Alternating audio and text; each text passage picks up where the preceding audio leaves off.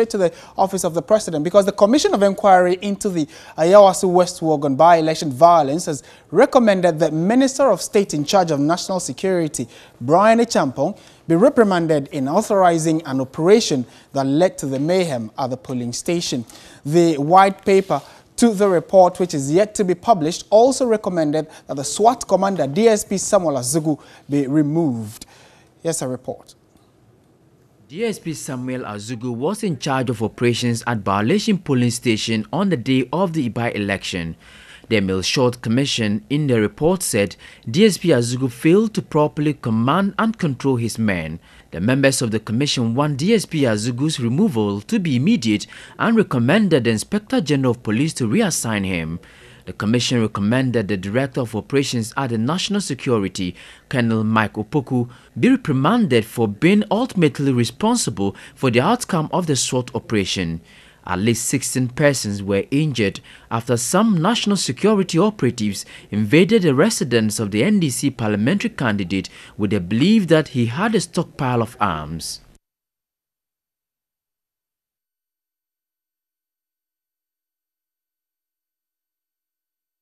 All right, so we've been following this particular report since the commission presented it to the president. And uh, interestingly, there are a number of recommendations that would want to take you through them. They would speak to uh, security analyst Adam Bonaa to find out whether or not uh, these recommendations, as per the commission's um, you know, work, is something feasible that the, uh, the government should follow. So top of the uh, recommendations for us will be the fact that this man in question, Emmanuel Akumia, who uh, when the commission met, came and was known as Double, look at those biceps, said that um, the commission is recommending that the criminal prosecution be taken against Mrs. Ernest Acumia alias Double for the unauthorized possession of firearms under Section 192, Clause 1 of the Criminal Offences Act. It goes on to say that this man in question, who is uh, Mohammed Suleimana, he slapped the Member of Parliament for Ningo Pram Pram, Sam George. Now, the Commission recommends that criminal prosecution be taken against Mohamed Suleimana for the offence of assault, to wit, the slapping of Sam George, MP for Ningo Pram Pram. This is um, Samuel Azugu. The Commission recommends the immediate removal of DSP Samuel Azugu from command responsibility at the Ministry of National Security given his failure to appropriately command and control the SWAT team of which he had charge during the operation at the La Bawaleshie School polling station. It also recommends that he uh, be reassigned by the IGP.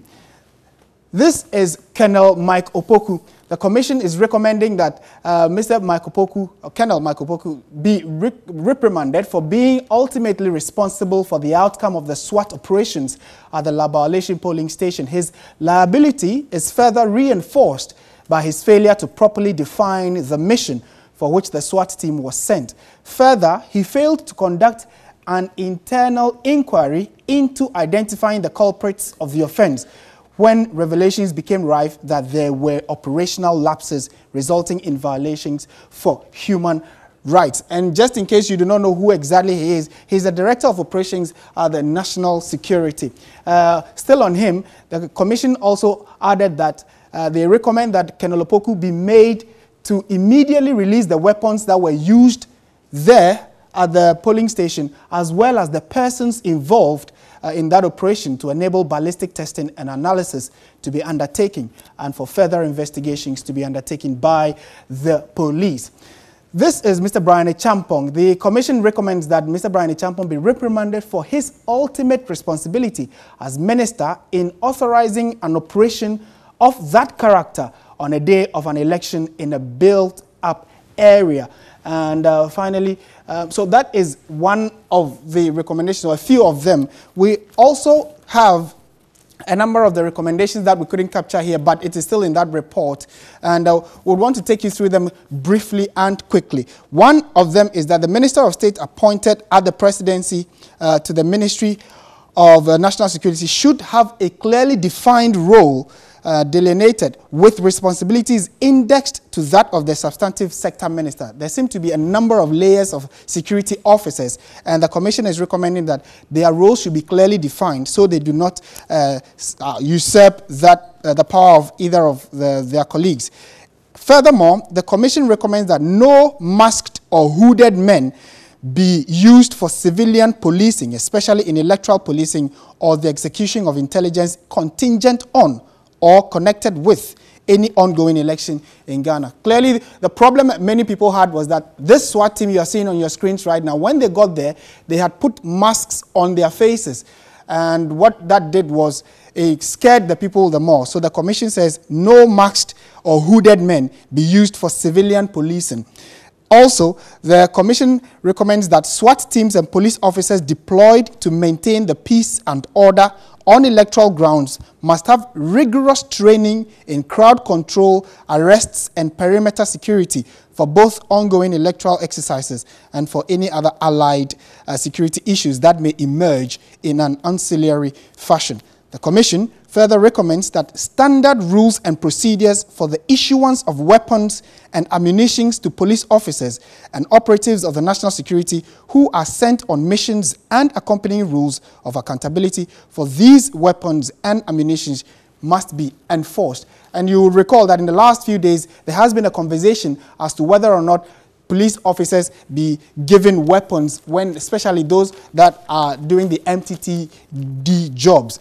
Should they be given weapons? Shouldn't they? The commission is saying that if you're going to give them, be sure you've trained them properly before you hand them weapons. In the final bit, it says the commission recommends that the police should mount public education on crime scene management to ensure that the public would avoid interfering with crime scenes and thereby protect the integrity of evidence for further prosecution. And uh, finally, the commission recommends that an independent police complaints commission based outside the police structure be established to deal with complaints from the public on the conduct of police officers and so promote police accountability.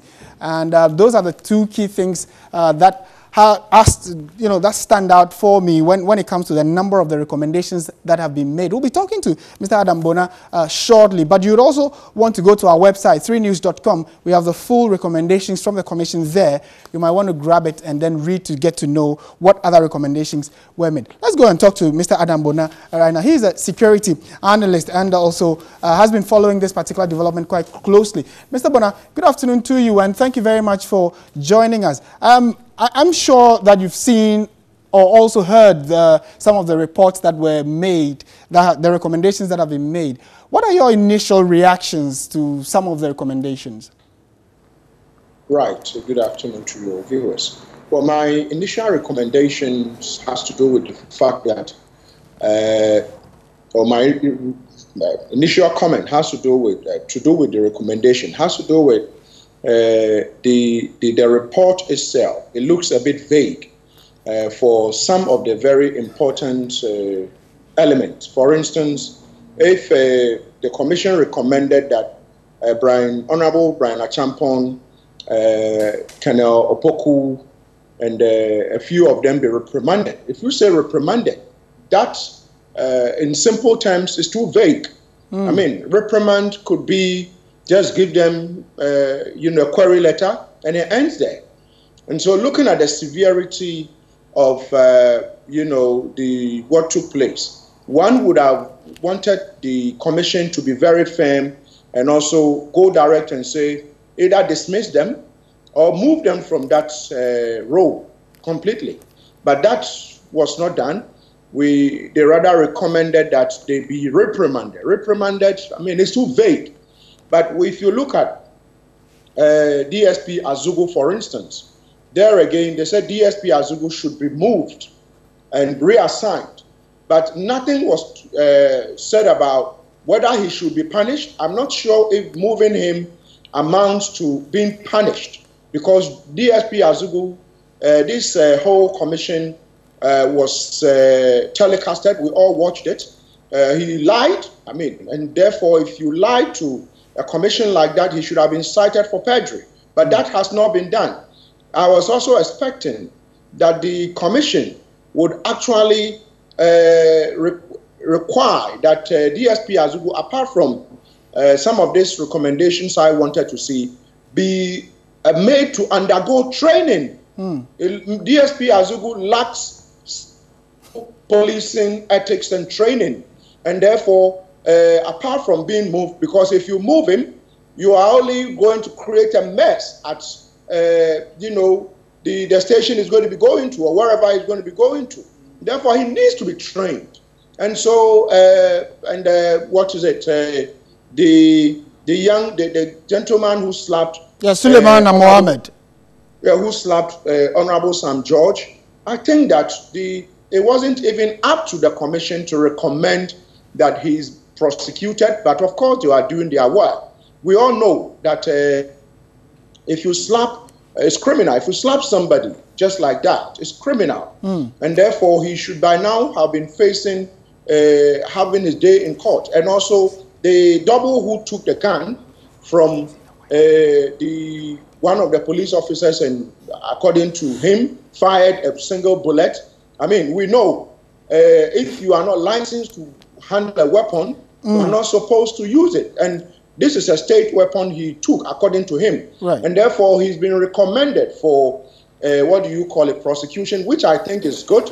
But what I want to see is that he should be uh, prosecuted using the new uh, vigilantism and other uh, related offenses law. law okay. Within that law, it says that there is no the option of a fine because I suspect that we might have a situation where he has his day in court and uh, if they don't use the new vigilantism or related offenses act to prosecute uh, law to prosecute him. But for, for those home with a fine. Yeah, Mr. Mr. Bonaa, for those who have been, uh, for those whose names have been specifically mentioned, uh, like you talked about Suleiman Mohammed, uh, DSP Azugu, etc. Do you think that the punishments or the recommendations made are punitive enough? In the case of Suleiman Mohammed, we are even told that the white paper seemed to exonerate him that no action will be taken against him. Do you think that if a recommendation is made by a commission set up by the president is not followed, what does that tell us as a people?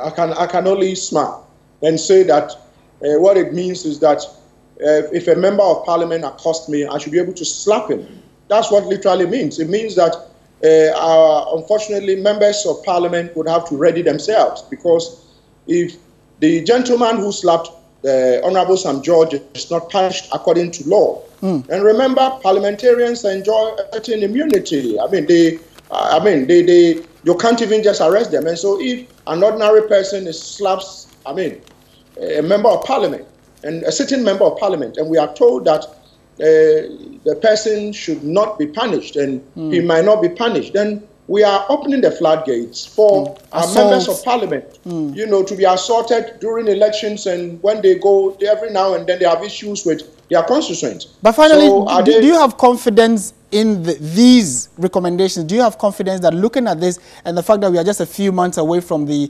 2020 elections, these are going to be good enough guidelines for the country, the security setup, the electoral commission, and the presidency for that matter, going into the elections? Well, well, I think that uh, the commission did a very, you know, good work, and therefore I am hoping and praying that the executive, the president, and his team would implement uh, the recommendations the latter. If it is done and done well, then 2020 uh, we might not see this spectacle we saw uh, during the Ayawaso West by election. But you see, uh, if we have to go back into history, there has hmm. been various uh, commissions, and uh, most of them were never implemented. But I'm hoping that the president has uh, the opportunity to, to lead us and make sure that these recommendations are implemented so that 2020 we can all be safe. Always a pleasure talking to you, Mr. Adams Bonaa. For uh, thank you very much for making time to talk to us as always. This is midday live on TV3, and um, just before we go, though, uh, some compensations have also been uh, recommended by the commission in that report. That a few names mentioned in the report be compensated. And then also those who lost the vehicle, a woman we are told lost her shop, she's also supposed to be given some compensation. Go to 3news.com, that's our website. Details of this report would be found there.